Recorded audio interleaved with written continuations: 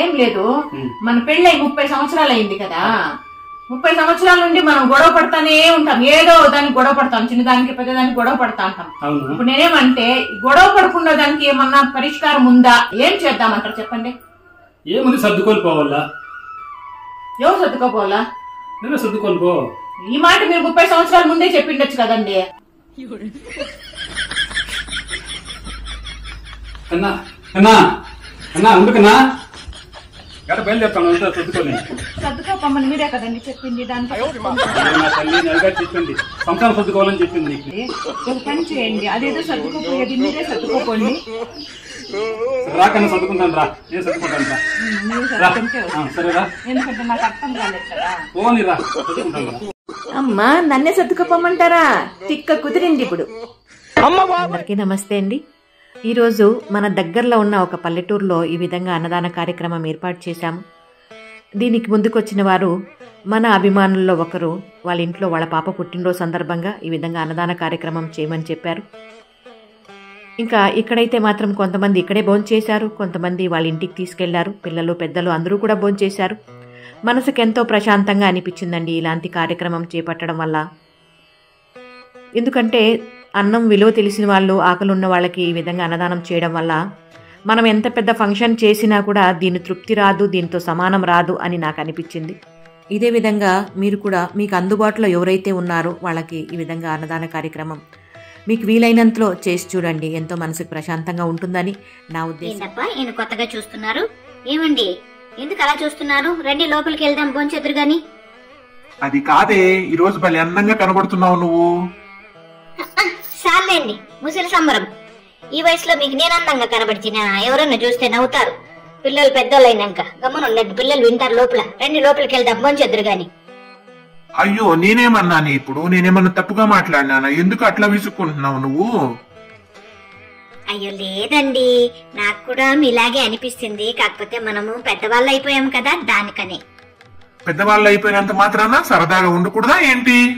పిల్లలు పెద్దోళ్ళు అయిపోయారు. మనకు కూడా వయసు మీద పడింది. మనవడు మనవరాలు పుట్టేశారు. ఇంక ఇట్లాంటప్పుడు మనము సరదాగా ఉండాలంటే ఎవరైనా చూస్తే నవ్వరు? నవ్వడం దేనికి? అందరూ తెలుసుకోవాల్సిన విషయం ఏమంటే వృద్ధ దంపతులు ఒకరికొకరు తోడు నీడగా సరదాగా ఉండడం ఎంతో అవసరం. లక్ష్మి ఆ విషయం నువ్వు కూడా తెలుసుకో. సరేనండి.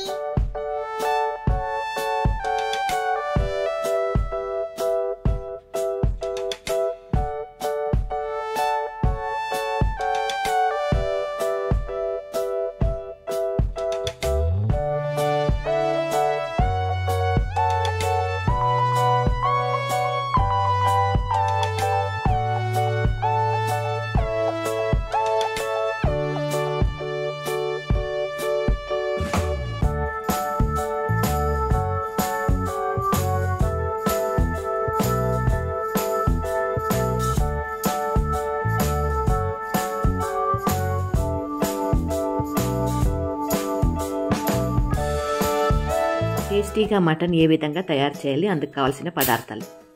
కొబ్బర పచ్చిమిర్చి ఆయిల్ అల్లము వెల్లుల్లిపాయలు పసుపు ధనియాల పొడి కారపొడి కొత్తిమీర పుదీనా ఎర్రగడ్డలు టమాటోలు ఉప్పు అల్లం వెల్లుల్లి పేస్ట్ బిర్యానీ ఆకు సోంపు మొగ్గ గసగసాలు మెంతాకు. బండిలో నూనె వేసుకొని ఎర్రగడ్డలు పచ్చిమిర్చి పచ్చి కొబ్బరి అల్లము తెల్లగడ్డలు చక్కా లవంగాలు ఇవన్నీ వేసి బాగా వేయించుకోవాలి. ఈ రకంగా వేయించిన తర్వాత ఈ విధంగా చల్లార్చిన తర్వాత మిక్సీ జార్లో వేసుకొని టమాటాలు కొత్తిమీర అన్ని రకాల పొడులు గసాలు ఇవన్నీ వేసి బాగా గ్రైండ్ చేసుకోవాలి. మటన్ శుభ్రంగా కడిగి ఈ విధంగా కుక్కర్లోకి వేసి అందులోకి ఉప్పు వేసి అల్లం వెల్లుల్లి పేస్ట్ వేసి నాలుగు విజులు వచ్చే వరకు ఉడికించుకొని దాని తర్వాత ఈ విధంగా మసాలా అంతా గ్రైండ్ చేసుకొని మసాలా దాంట్లోకి వేసి దాంతోపాటు బిర్యానీ ఆకు మెంతాకు సోంపు పువ్వ పుదీనా ఇవన్నీ వేసి బాగా దగ్గరకు వచ్చే వరకు ఉడికించుకుంటే ఎంతో రుచికరమైన మటన్ కుర్మా. ప్రస్తుతం కాల పరిస్థితి ఎలా ఉందంటే చాలా వరకు చాలామంది కూడా బిజీ బిజీగా అంటే ఉద్యోగాలని వ్యాపారాలని ఇంకోటని బిజీ బిజీగా ఉంటాం. అదే విధంగా పిల్లలు ఆ పసితనం నుండి కూడా వాళ్ళకి స్కూళ్ళని హోంవర్క్లని అవని ఇవ్వని వాళ్ళకు కూడా చాలా బిజీ లైఫ్ అయిపోయింది. ఇలాంటప్పుడు విసుగ్గా కూడా అనిపిస్తుంది. ఏందప్ప లైఫ్ అంటే ఇంతేనా అన్నట్లుగా. మనకే అట్లా అనిపిస్తే పిల్లలకి ఏ రకంగా అనిపిస్తుందండి కదా? వాళ్ళకి హాలిడేస్ వచ్చినప్పుడు ఈ విధంగా బయటికి తీసుకెళ్తే వాళ్ళు కూడా బాగా ఎంజాయ్ చేస్తారు. దాన్ని చూసి మనకు కూడా చాలా మనస్తృప్తిగా అనిపిస్తుంది. అప్పుడు మనకు కూడా ప్రశాంతత ఉంటుంది. వాళ్ళ చిన్ని మనసు కూడా ప్రశాంతత కలుగుతుంది కదా. దానికనే ఈ విధంగా చేస్తే బాగుంటుంది మనకు ఉన్నంతలో. ఓ మనం చేయాల్సిన అవసరం లే. మనకు ఉన్నంతలో మనం ఈ విధంగా చేయడం వల్ల పిల్లలకి మన మీద ఎంతో ప్రేమ అభిమానము ఆప్యాయత గౌరవం ఇవన్నీ కూడా కలుగుతుందన్నమాట. దానికనే చిన్న ప్రయత్నం. అందరికీ నమస్తే అండి. విజయదశమి సందర్భంగా ఈ విధంగా ఒక మారుమూల గ్రామంలో బీదవారికి అన్నదానము వస్త్రదానము ధాన్యము ఇవన్నీ కూడా పంచిపెట్టడం జరిగింది మన మంజులా పవర్ ఛానల్ తరపున. అదేవిధంగా చిన్నపిల్లలకి వంద మందికి పైగా తినబండారాలు కూడా పంచాను. ఇది ఫుల్ వీడియో మీరు చూడాలంటే మన మంజులా పవర్ ఛానల్లోనే ఉంది. వీడియోస్లో ఉంటుంది. మీరు చూడొచ్చు. మీకు ఓపిక ఉన్నప్పుడు వీలున్నప్పుడు మీ విలువైన సమయాన్ని కేటాయించి పండగ సందర్భంగా మనం చేసిన ఈ సర్వీస్ అనేది మీ అందరికీ తెలియజేయాలనే ఉద్దేశంతో ఈ రకంగా ఒక చిన్న షార్ట్స్ అనేది మీ ముందుకు తీసుకొచ్చాను. మీ అందరికీ నచ్చే ఉంటుంది అనుకుంటా. నచ్చితే మాత్రం ఖచ్చితంగా లైక్ చేయండి షేర్ చేయండి. ఎవరైనా కొత్తగా చూసినట్లుగా ఉంటే కొన్ని వీడియోలు చూసి బాగుంది నమ్మకం ఉందనిపిస్తే మాత్రం సబ్స్క్రైబ్ చేసుకోండి ఓకేనా?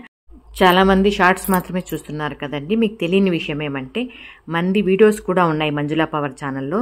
మంది ఓల్డ్ ఏజ్ హోమ్ తరపున వీడియోస్ ఉంటాయి. మీకు వీలు ఉన్నప్పుడు అక్కడ చూస్తే మీకు విషయాలన్నీ తెలుస్తాయి ఓకేనా? Thank you. నమస్తే అయ్యా. కొత్తగా పనికి వచ్చానయ్యా. అమ్మ. చెప్పారు. అమ్మ లేదా అయ్యా లేరమ్మా మీటింగ్ వెళ్ళారు నీ పేరేమ్మా? లంగమ్మ అయ్యా లంగమ్మ. లంగమ్మ. లా లంగమ్మ. హలిలో లంగ హలి హలిలో లంగ హలి హలి. ఏం అర్థం కలదమ్మా నువ్వు చెప్పేది? లంగమ్మ అంటావు నాకు ఏం అర్థం కలదమ్మా? ఉన్నాను ఇప్పుడే వస్తాను. సరేమ్మా. ఇదిగోండయ్యా లాయి. ఓహోహోహో రాయి లంగమ్మ. రాయా. లాయి లంగమ్మ. ఓహోహోహో. మ్మ్, లంగమ్మ. సరే తల్లి. పండగ కదయ్యా. నేను ఇంటి ముందు అంతా చెత్తలు వచ్చేసి కలర్ చెల్లేసి లతం ముగ్గేసేస్తానయ్యా. లతం ముగ్గ? ఓకే ఓకే అర్థమైంది. నాకు రథం ముగ్గు చెప్పేది నువ్వు. ఆ, రథం ముగ్గు. ఏదో ఒకటి రథము రథం వేసుకొని రథమ్మా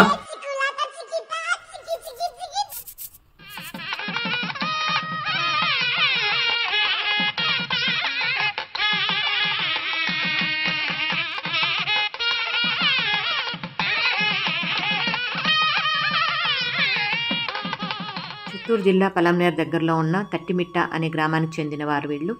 ఈ కుటుంబ సభ్యులు. ఆ పెద్దవాళ్ళిద్దరు భార్యాభర్తలు. ఆ అబ్బాయి వాళ్ళ కొడుకు. ఆ అబ్బాయికి పక్షవాతము ఒక చెయ్యి ఒక కాలు పనిచేయదు. అదేవిధంగా మాటలు కూడా రావు. ఇంకా పెద్ద ఆయనకి యాక్సిడెంట్లో కాలు విరిగిపోయిందంట. మనములు సహాయం కోరి వచ్చారు వీళ్ళు మన ఆశ్రమానికి. ఇదిగోండి ఈ విధంగా వాళ్ళకి మన వంతుగా ఒక మూట బియ్యము ఐదు వేల రూపాయల డబ్బులు వాళ్ళందరికీ కూడా కొత్త బట్టలు ఇవన్నీ కూడా ఇచ్చాను. ఈ కుటుంబానికి మనవంతు సహాయం అందించడం కరెక్ట్ అనిపించింది దానికని ఈ విధంగా వాళ్ళకి సహాయం అయితే అందజేశానండి. మీ అందరికి కూడా నచ్చే ఉంటుంది అనుకుంటా నచ్చితే మాత్రం ఖచ్చితంగా లైక్ చేయండి. ఇది ఫుల్ వీడియో అయితే మాత్రం మన మంజులా పవర్ ఛానల్లోని వీడియోస్లోకి వెళ్తే మాత్రం మీకు ఖచ్చితంగా వీడియోలో అందరికీ నమస్తే అండి. ఇక్కడ చూస్తున్నారు కదా వీళ్ళందరూ కూడా ఒక అనాథ వృద్ధాశ్రమంలో ఉన్నారు. కాకపోతే పేరుకు మాత్రమే అనాథ వృద్ధాశ్రమం. ఇక్కడ వీళ్ళందరూ కూడా ఒక కుటుంబ సభ్యుల్లాగా ఒక తల్లి బిడ్డల్లాగా కలిసిమెలిసి ఎంత సంతోషంగా ఉంటారంటే వాళ్ళని చూస్తే ఆశ్చర్యం అనిపిస్తుంది. ఎక్కడో పుట్టి ఎక్కడో పెరిగి ఈ రకంగా ఒక ఆశ్రమంలో కలిసి ఒక తల్లి బిడ్డల్లాగా ఈ రకంగా ఉండడం అనేది వాళ్ళ గొప్పతనమో లేకపోతే భగవంత నిర్ణయమో మనకు తెలియదు కానీ ఈ రకంగా ఉంటారు. ఇంకా వీళ్ళు ఎవరైతే కొంచెం పనులు చేయగలరో వాళ్ళు ఈ రకంగా వాళ్ళకి తోచిన పని వాళ్ళని చేయమని చెప్పరు చెయ్యొద్దని చెప్పరు ఎవరు కూడా చెప్పరు. కాకపోతే వాళ్ళంతటి వాళ్ళ ఇది మన కుటుంబము అన్నట్లుగా వాళ్ళంతకు వాళ్ళు చేస్తారు. ఇక్కడ ఈ అబ్బాయి ఏం చేస్తున్నారు అనుకుంటున్నారా? గేట్ పట్టుకొని ఎక్సర్సైజ్ చేస్తున్నాడండి. వీళ్ళు జాయిన్ అయినప్పుడు అనారోగ్యంతోనే జాయిన్ అవుతారండి ఆశ్రమంలో. కాకపోతే ఇక్కడికి వచ్చిన తర్వాత వారం పది రోజులన్నీ బాగా కుదుట పడతారు. ఇది భగవంతుని ఒక ఆశీస్సులు అనుకుంటా. ఈ ఆశ్రమానికి భగవంతుడు ఇచ్చిన వరం.